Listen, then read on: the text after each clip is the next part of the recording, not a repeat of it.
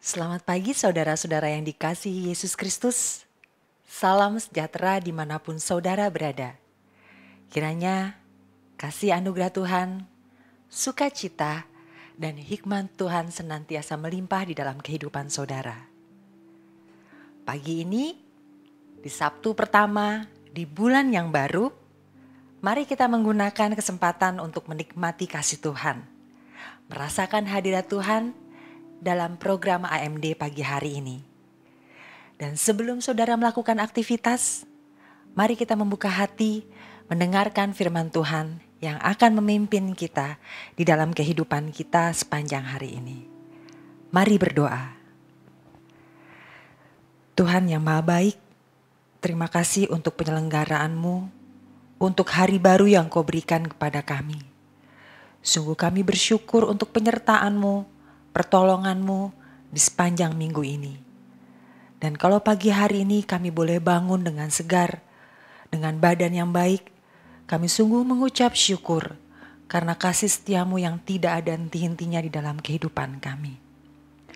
Dan pagi hari ini, mari Yesus engkau yang akan beracara, engkau yang akan memimpin kami untuk merenungkan firman-Mu Ajari kami untuk mendengar dengan baik. Buka hati dan pikiran kami dan berikan kami roh yang dapat memahami akan pengajaran-pengajaran yang Engkau berikan. Berkati setiap anak-anakmu yang mengikuti program ini.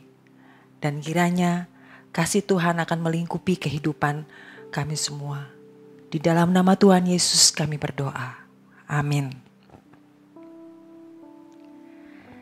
Saudara, kalau saudara mengikuti ibadah minggu yang uh, lalu, di mana kita diberkati dengan firman Tuhan yang diambil dalam Roma 14 ayat 1 sampai 23 dan ibadah diberi judul dengan Grace Based on Relationship, kita mendapatkan pengajaran, kita mendapatkan nasihat yang disampaikan Paulus terkait mengenai bagaimana orang-orang Kristen, bagaimana orang-orang di masa itu yang menjadi pengikut Kristus hidup di dalam suatu komunitas.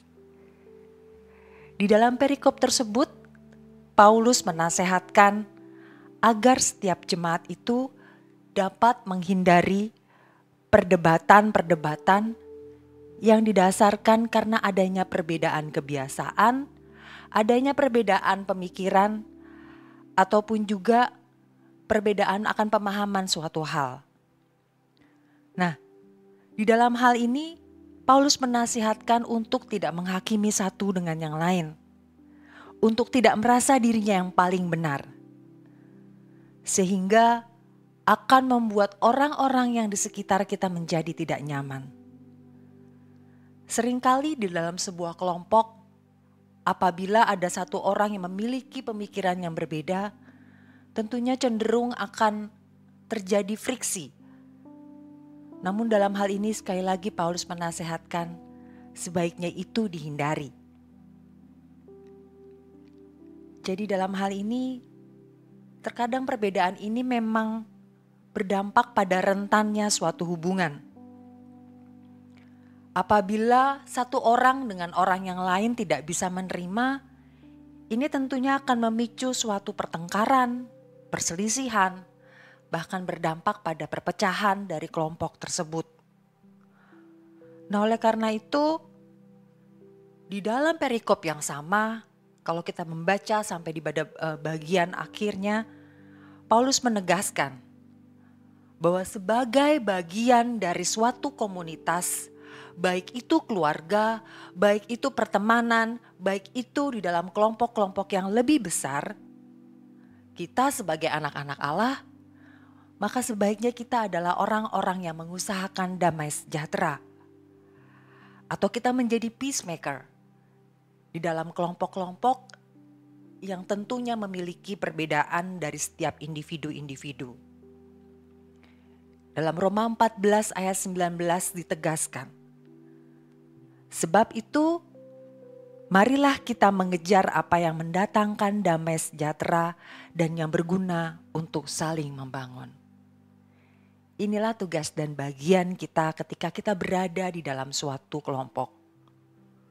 Kalau berbicara kelompok, bukan ten, bukan hanya sebuah organisasi yang besar, tetapi ketika kita berada di dalam keluarga, kita adalah bagian dari keluarga tersebut. Dan sebagai bagian dari anggotanya, kita harus mengupayakan damai sejahtera di dalam keluarga kita. Ini yang disampaikan, yang dinasihatkan Paulus. Terlebih bagaimana kita membangun relasi dengan orang-orang yang ada di sekeliling kita. Lalu mengapa Paulus berulang kali mengajarkan untuk menghindari perpecahan? Mengapa kita harus mengusahakan damai sejahtera ketika kita hidup bersama dengan orang lain? Nah, ini yang akan menjadi perenungan kita pada pagi hari ini. Saya akan mengajak saudara membaca dari Matius 18 ayat 19 sampai 20. Mari sama-sama membaca Matius 18 ayat 19 sampai 20. Terlebih ketika saudara mengikuti program ini bersama dengan keluarga ataupun juga bersama dengan orang-orang terdekat saudara. Matius 18 ayat 19. Dan lagi aku berkata kepadamu, jika dua orang daripadamu di dunia ini sepakat meminta apa pun juga, permintaan mereka itu akan diakabulkan oleh Bapakku yang di surga. Matius 18 ayat yang ke-20. Sebab di mana dua atau tiga orang berkumpul dalam namaku, di situ aku ada di tengah-tengah mereka. Amin saudara. Kata sepakat yang tertera dalam perikop yang barusan kita baca ini memiliki makna yang sangat penting kalau kita berbicara mengenai sepakat, ini dapat kita maknai sebagai bentuk persetujuan. Satu orang dengan orang yang lain itu memiliki persetujuan akan hal yang sama, selaras. Bahkan satu orang yang dengan yang lain itu dapat menerima orang tersebut. Atau dapat dikatakan lebih dalamnya setiap individu akan memiliki kesatuan hati. Nah, ini dapat dicapai, kesepakatan dapat dicapai, harmonis, keselarasan dapat dicapai kalau setiap orang di dalam anggota keluarga, di dalam kelompok, di dalam pertemanan itu tahu akan tujuan yang mereka capai mereka memiliki tujuan yang sama, sehingga mereka mau mengupayakan sebuah proses dengan cara-cara yang baik, dan terlebih apabila kita sebagai anak-anak Kristen, sebagai anak-anak Allah, memiliki keyakinan dan diikat di dalam Kristus sebagai Tuhan dan Juru Selamat. Jadi kesepakatan dapat terjadi antara dua orang yang berbeda kalau mereka memiliki tujuan yang sama. Mereka terikat akan motivasi yang sama. Demikian pula kita di dalam komunitas kita, di dalam keluarga kita. Kalau kita memahami, kalau kita tahu tujuan kita, tentunya kita akan menjadi selaras satu dengan yang lainnya.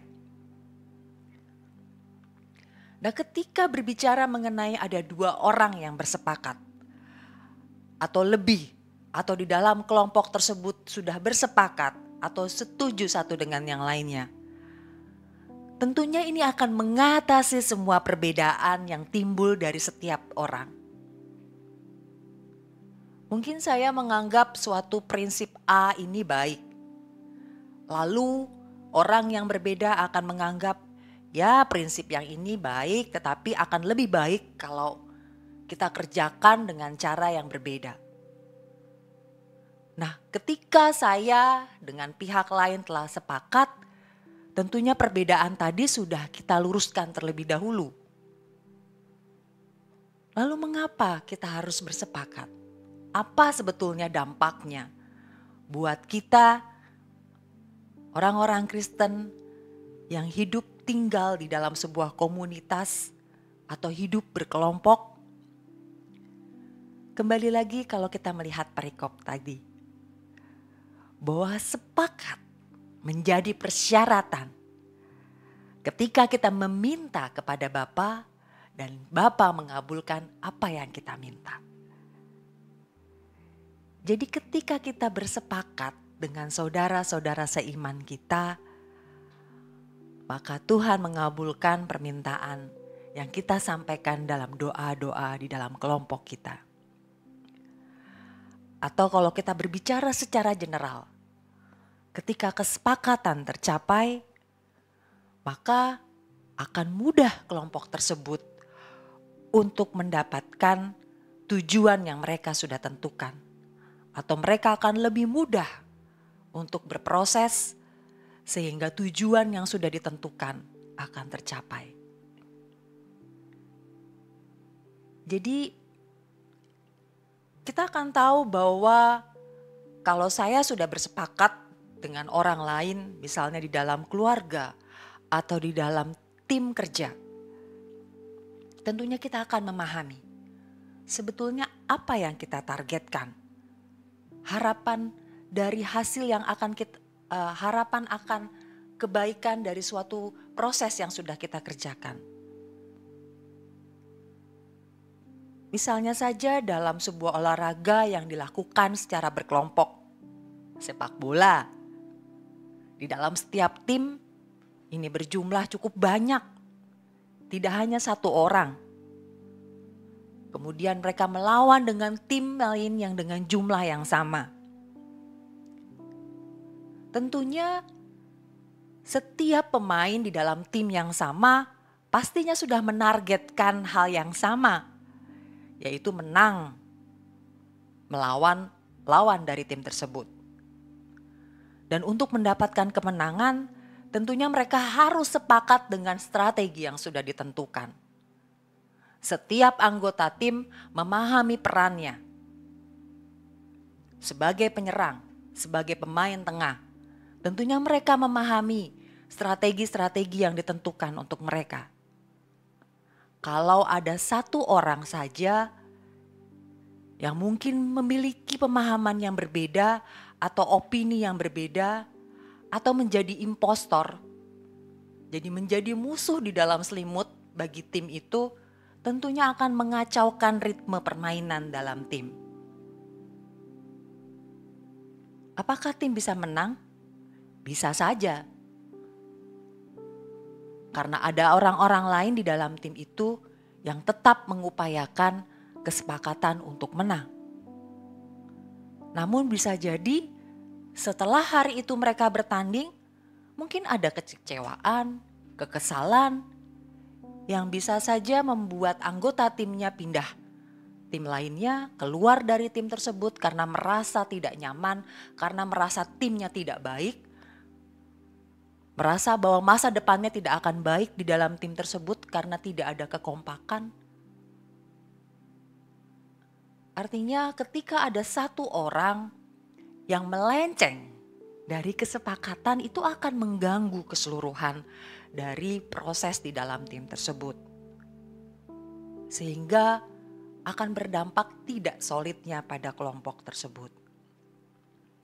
Nah, Secara spesifik kalau kita berbicara ketika kita berkomunitas bersama dengan saudara-saudara seiman kita bahwa ketika kita bersepakat satu dengan yang lain di dalam Tuhan itu maka akan ada lawatan Tuhan karena jelas dikatakan Tuhan akan hadir di antara mereka. Dan tentunya permintaan yang disampaikan, permintaan yang kita naikkan ke dalam di dalam doa-doa kita akan dikabulkan Tuhan.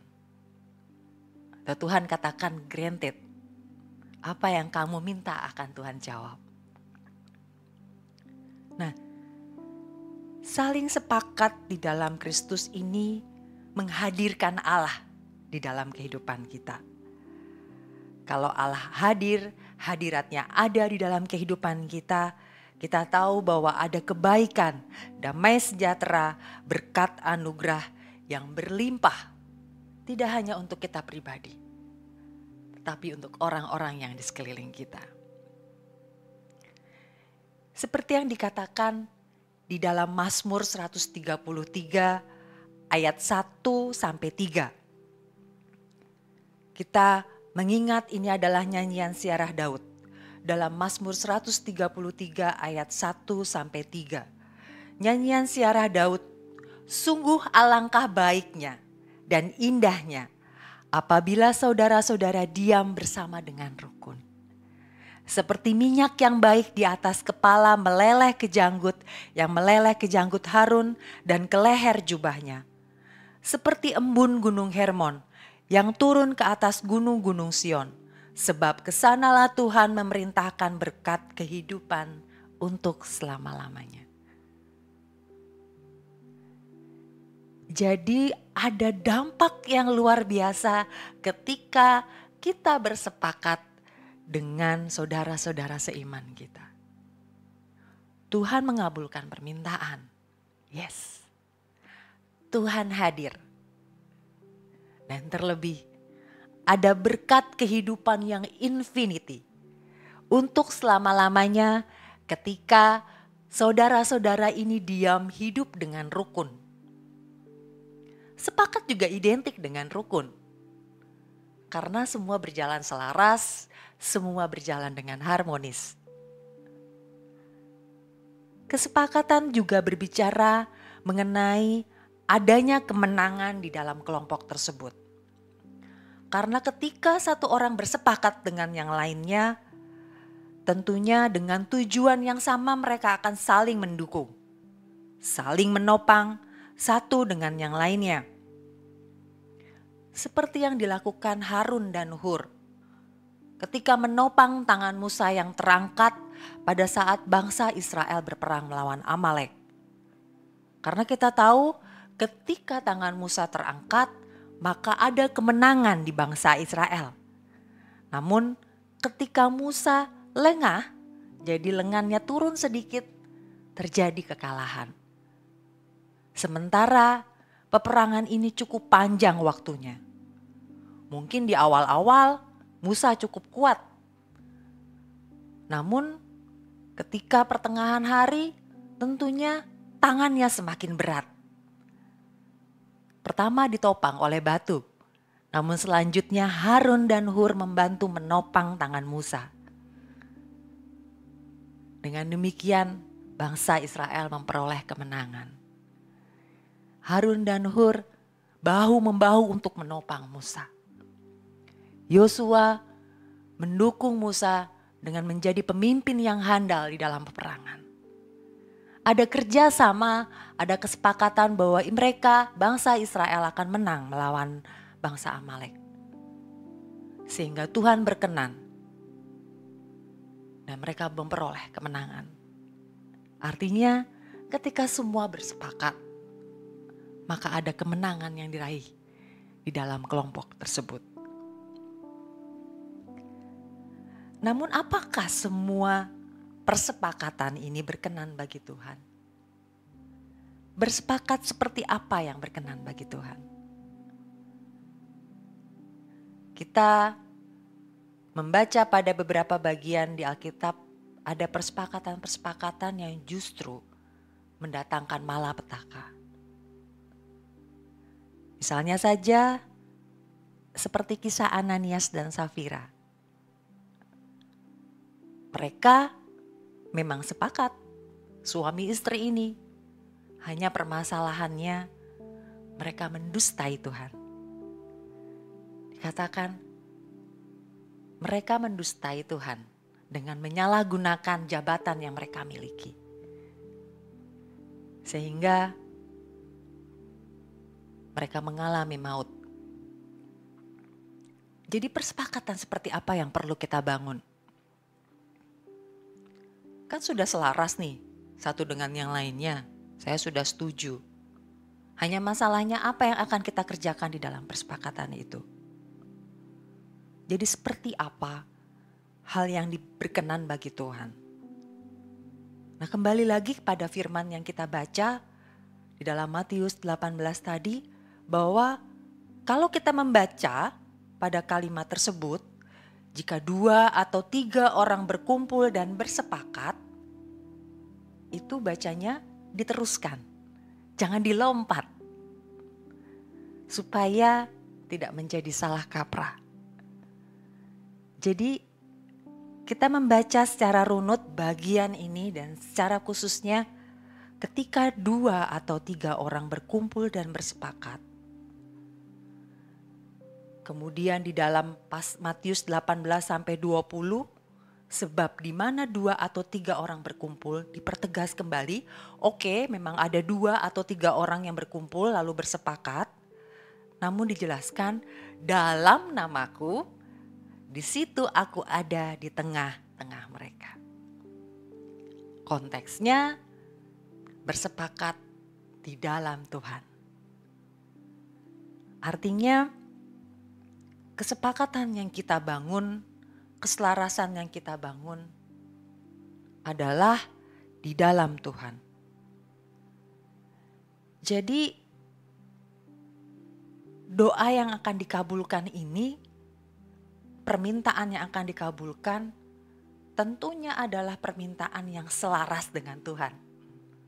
Jadi bukan hanya saya dengan si A, si B bersepakat, ayo kita minta sesuatu yuk sama Tuhan, kita berdoa. Kan firman Tuhan katakan kalau dua orang, dua atau tiga orang berkumpul bersepakat, maka permintaannya dikabulkan. Kelewat. Ada bagian konteks di dalam nama di dalam Tuhan yang kita harus pegang bersama-sama. Jadi keselarasan yang kita bangun itu tidak hanya saya dengan pihak lain, tetapi juga membangun kesesuaian dengan Tuhan.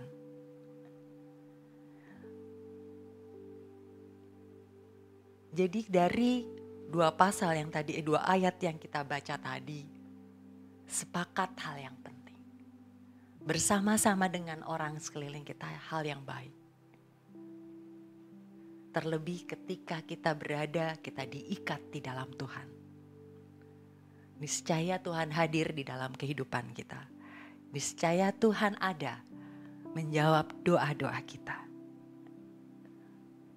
Tuhan sangat menyukai jika anak-anaknya dapat hidup rukun bersama. Saling membangun karakter masing-masing hingga menjadi pribadi-pribadi yang serupa dengan Kristus. Selaras sesuai dengan maunya Tuhan. Mengerti apa yang dimaksud, apa yang diinginkan Tuhan di dalam kehidupan masing-masing.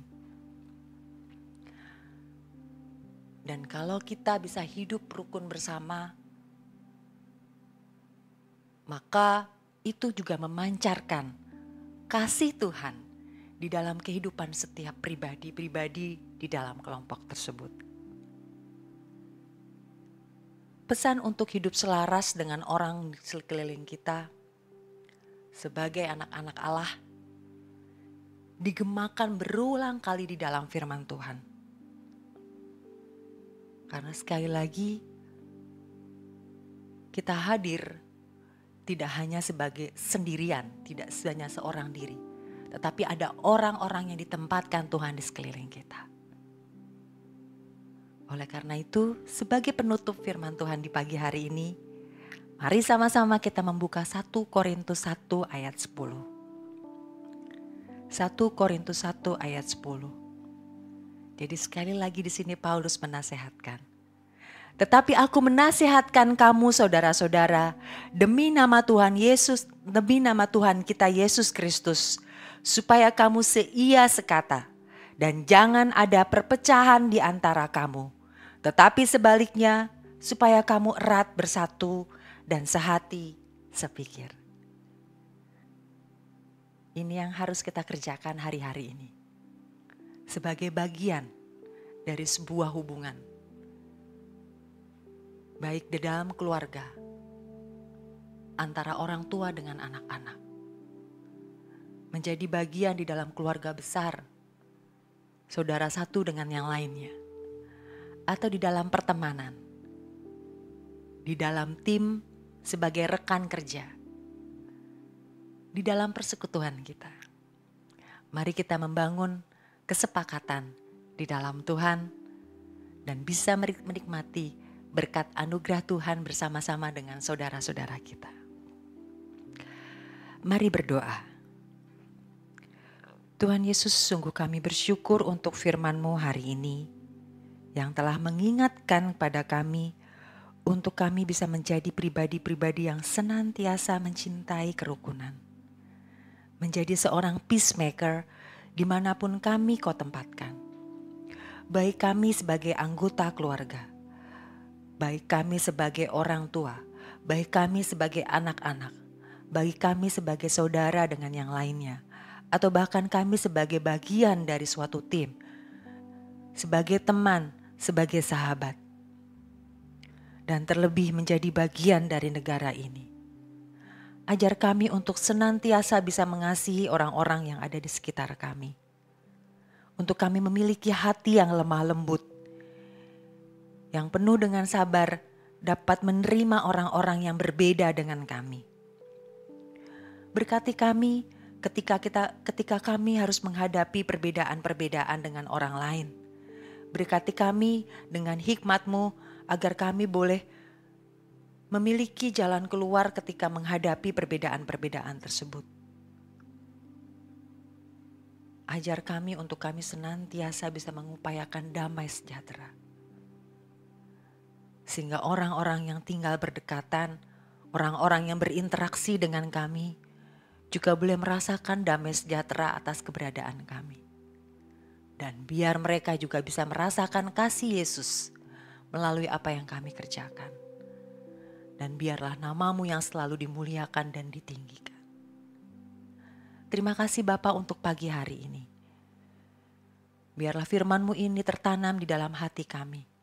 Mengingatkan kami setiap saat, setiap waktu. Pimpin kami ya Yesus. Di dalam nama Tuhan Yesus kami berdoa. Amin. Yes. Ketika kita bersepakat dengan orang lain, ada kerendahan hati yang besar yang memampukan kita untuk bisa menerima orang lain. Ketika kita bersepakat dengan orang lain, tentunya kita memancarkan kasih Tuhan yang kita dapatkan untuk orang-orang di sekeliling kita. Ketika kita memiliki kesepakatan, di sanalah Allah hadir secara nyata di dalam kehidupan kita. Nah, di mana pun saudara ditempatkan, apa pun peran saudara di dalam suatu relationship dengan orang-orang di sekeliling saudara, mari terus kita mengupayakan damai sejahtera. Agar pekerjaan-pekerjaan Tuhan ini dapat kita tuntaskan dengan baik. Dan orang-orang yang ada di sekeliling kita yang memiliki hubungan dengan kita dapat merasakan juga berkat Tuhan dan dengan demikian nama Tuhan akan semakin dimuliakan. Selamat hari Sabtu, selamat menikmati sukacita dan berkat Tuhan yang hadir di sepanjang hari ini. Mengingatkan juga Siapkan hati saudara untuk besok menerima berkat Tuhan di dalam ibadah minggu. Sekali lagi, percayalah bahwa Tuhan senantiasa memberkati saudara.